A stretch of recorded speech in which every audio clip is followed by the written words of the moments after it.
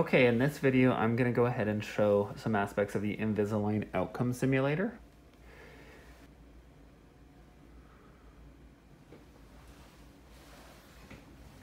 All right, so this case here is interesting because the patient has a retained primary tooth. And what this is going to do is it's going to throw off our simulator when figuring out tooth numbers. Now, when this is counting down, it gives us an opportunity that we can stop the scan so that we can change the tooth axis position or that we can change the tooth numbers. So I haven't done it in this example because I want to show what we would get if we didn't make any adjustments. Now the extra tooth here is the patient's 2-3, or sorry, their 6-3. So that's a primary tooth that they didn't lose. And what we'll notice is, is that we need to take it out for treatment. So this is going to help both diagnostically um, as well as practically because what you see here is the before shows that we're actually missing a tooth from this spot here, which is there. And then in this position, this is the patient 6-3. So we don't want that to be there. So if we want to go ahead and make an adjustment here, we have to go back out of the scan and it's going to force us then to redo what we did before. So as we go back, it's going to reposition the axis lines. And we'll be able to stop the scan in that 10 second countdown so that we can change uh, the tooth numbers as well as virtually removing that tooth. So, okay, here we are. We've got all of the axis lines running down the teeth and you can see that we're missing the 2-5. So if we want to hit numbers here, the reason why is that it thinks that the 2, 4 is the primary tooth there, but we know that it's not. So in order to make this correction then, what we're going to do is, it says, please check axis and make necessary corrections prior to simulating a setup. All right, so we're gonna go ahead and remove the axis line from the 2-4. So to do that, I'm gonna press and hold on it and click delete axis. So now it's removed that 2-4. Now I'm gonna press and hold on this axis and I'm gonna say that I want it to be a decrement tooth number. And as I make that tooth 2-4 then, um, now things can line up. So I'm gonna add an axis point and I'm gonna add an axis point so now I've placed the 2-5, and then that automatically then knew that if this was the 2-5, then we have the 2-6, 2-7, and 2-8. On the bottom, we've got the 3-8, 3-7, 3-6, that's all correct. And so all of our tooth numbers now are accurate. So now we can go ahead and create our simulation.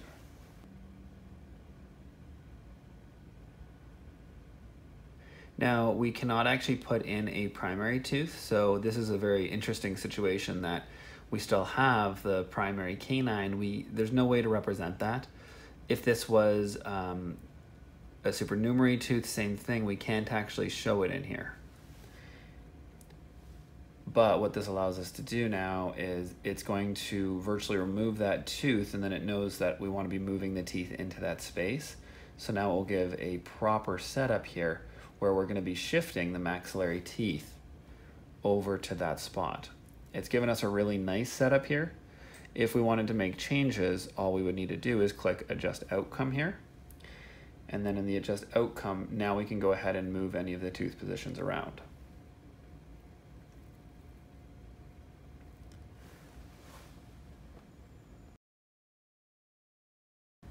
Okay, so in this example here, we're gonna simulate two different treatment plans. So we've got to the point where we've got the outcome simulator created showing our initial and our final positions. Now in order to make changes, if we wanna show a virtual extraction, then we are going to have to adjust the treatment goals. So when you click treatment goals at the bottom here, it's gonna pull up a menu and it's going to allow us to do IPR, anterior posterior correction, or to virtually extract a tooth. So to virtually extract a tooth, first let's go back and figure out which tooth we want to extract. So we know there's a lot of crowding and there's recession on the 4-1. So for the purpose of showing this patient, I want to virtually extract the 4-1. How I'm gonna do that is I'm gonna click treatment goals, and then I'm gonna press and hold down on the 4-1, and I'm gonna tell it that it should be extracted. Then I'm gonna go ahead and I'm going to update our simulation. And as we update the simulation, it's going to virtually remove that tooth. Okay, so now it's going to show the tooth with a little bit of a yellow tinge on the before to indicate that that tooth is being extracted. Now, if we want to make alterations to our treatment plan, like with our gingival margins here, the way we can do it is by clicking Adjust Outcome. So my recommendation is for every ClinCheck, even if it's just very, very minor movements, it's a good idea to actually make some of these changes because it really shows your expertise with the software. So we can go ahead and intrude up the 1-1 and the 2-1 to make their gingival margins more even.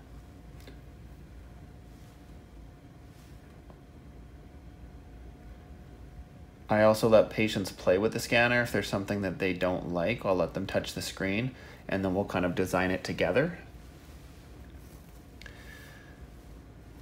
You can see that there's a little bit of a black triangle that's showing up. So let's go to IPR and we can program in some IPR between the teeth. Now we can hide the IPR flags. Now if I look and I say, well, you know, we still have a pretty big overjet, I wanna reduce this overjet, same thing.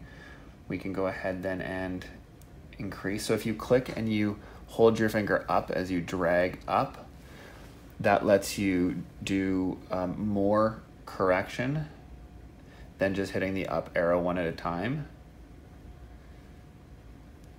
So now we've improved our overjet. Now if you want to create spaces between the teeth, you can do it the same way. So let's say you need to move the teeth a really big different distance. You can go ahead and click and drag and pull up with your finger here to do a lot of IPR or a lot of spacing correction, I should say.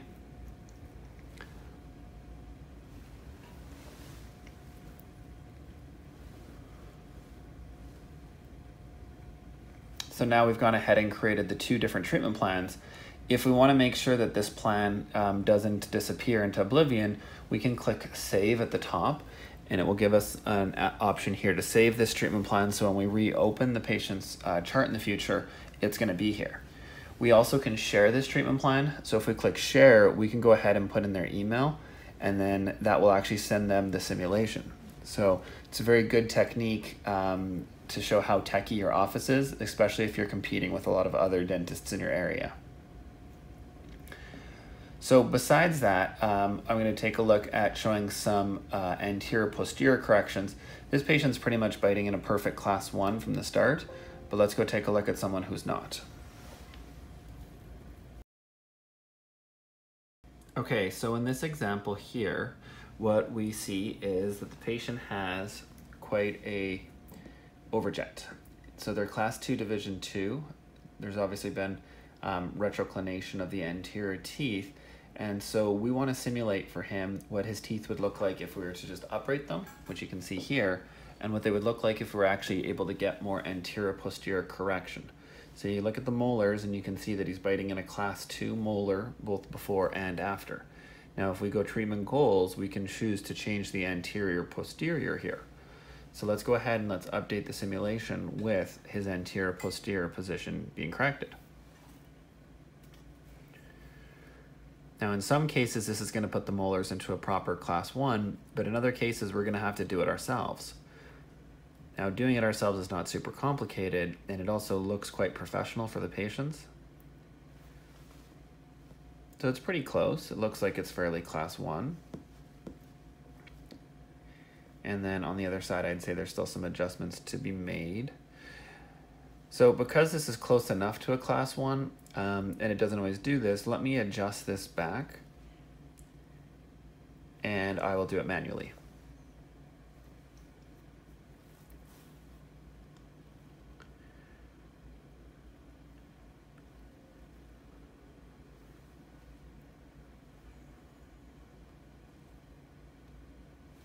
Okay, so to adjust the outcome, we're going to go ahead and click Adjust Outcome. And now what we can do is I'm gonna select this tool right here on the right side, which is little finger. This is the multi-select tool. So now I'm gonna go ahead and I can touch multiple teeth and they all still stay selected. So when I move them, they move together as a unit. So I'm gonna move these teeth back till we get nice intercuspations of the premolars. And then I'm gonna do the same thing on the other side. Then I'm gonna move all these teeth back. Okay, so this is showing the difference between where he started off in a class two bite and now we've moved back the upper teeth, so to speak. And that's gonna allow us then to show the difference of this is his current overjet. And now clicking IPR, it's gonna show us, let's get rid of the lower IPR. There's no reason for that, especially when he's this class two. Now we can go ahead and we can click to remove the spacing here and it will show his new overjet. So now we can go ahead and show Derek this is what your overjet will look like if you correct the forward and the backward position of your bite, maybe with something like a Carriere appliance. Again, we can keep changing the tooth positions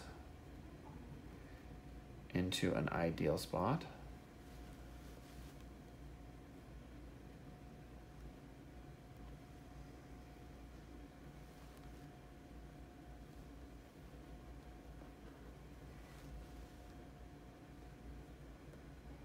And I like to tell patients that this is a sketch. It's kind of like if you are just designing something with pencil and paper. When we actually go to design this case in its entirety, when we sit down on the computer, that's where we're making our painting. So for right now, we're just doing a rough sketch to design this out because not everything is going to look perfect.